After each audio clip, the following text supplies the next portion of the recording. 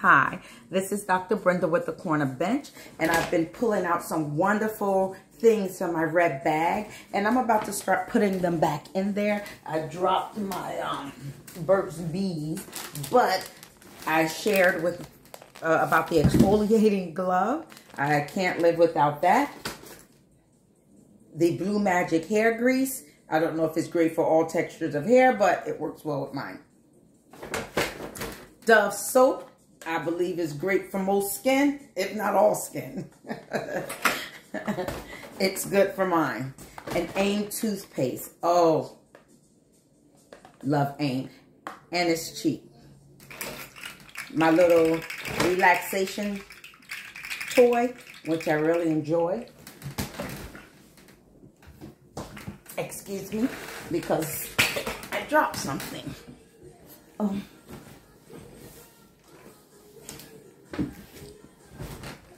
Thank you for your patience. But the Burt's Bees Lip Balm is another thing I can't live without.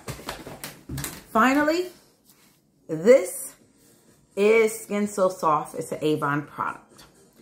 I'm going to tell you this is a must-have. Only lotion that I use in my house. It's like the only thing I use on from head to toe. I'll tell you, this has some healing properties to it. I burned my hand. And you know how you have to keep your hand underwater, keep your hand underwater.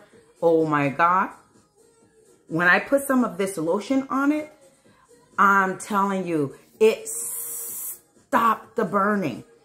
It has this great hydrating thing about it that it really made a difference and it, it stopped the burning in my hand.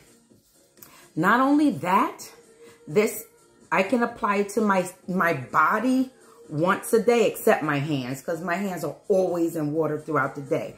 But I can apply it, apply it to my body once a day and don't ever need to apply more. Somebody might say I need to apply more to my feet because my feet kind of look rough at and I keep some in my pocketbook for it just for that purpose.